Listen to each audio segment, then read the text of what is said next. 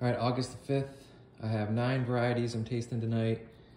Um, Campaniere, uh, Kesariani, no, sorry, Crows, Figoin, Hative de Argenteuil, Kesariani, LSU Hollier, Nerucciola de Elba, Red Lebanese Bekaa Valley, and Smith.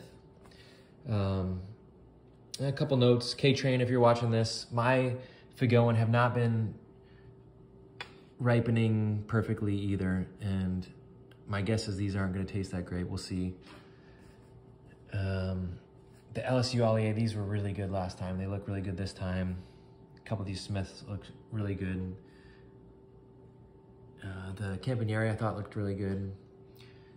So, and of course the Red Lebanese Bekaa Valley, those look great. So, yep, this is nine varieties, August 5th.